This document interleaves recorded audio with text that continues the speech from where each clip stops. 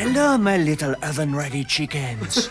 you know, they have given me my own dressing room on this show, and it's next door to the one hot gossip ladies use.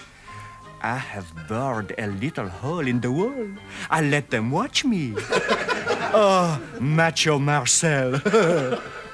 Au revoir, my beef burgers.